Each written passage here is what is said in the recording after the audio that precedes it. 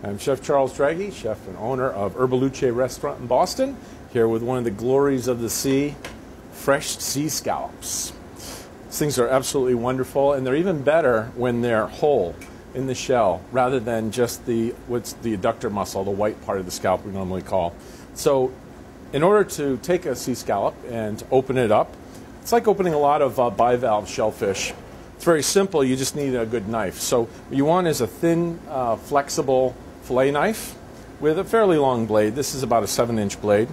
And you want to take the uh, scallop with a cloth so that you don't hurt yourself. And um, you're going to go in. They gap like this, and when you put the knife in, they'll clamp down on the blade. So you want to be careful. That strong white muscle is right about here in the middle of the shell. So what you're going to do is you're going to bend the knife and try to cut that muscle and release the top part of the shell. So I'm going to go in from the side, and he's clamping down, and just sort of saw a little bit, keep it wedged open. I've cut through. Now the top part of the shell comes right off.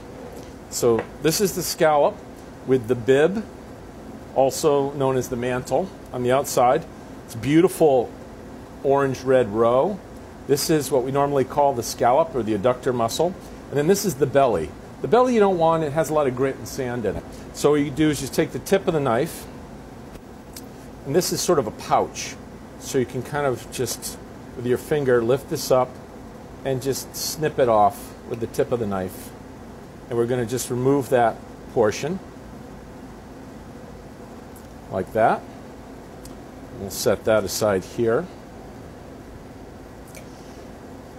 And what you want to do is you want to uh, take underneath the roe here, with the mantle, there's a little section of gills. And you can see them, they look like little feathers. So you just want to kind of clip that, because that will sometimes have a muddy flavor. And you're just going to remove that. It's very soft, comes out very easily. Okay. So you have the adductor muscle, the scallop, the roe, and the mantle. They each have a different texture.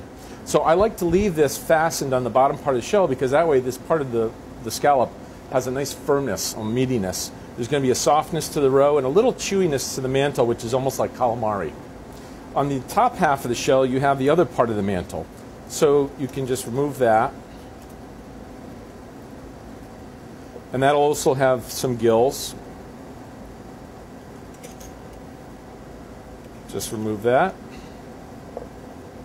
and put that back onto the scallop. Some scallops may have a little bit of grit and sand, they might not.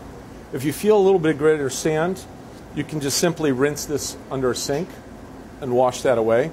This one feels great, looks beautiful, it's ready to be cooked.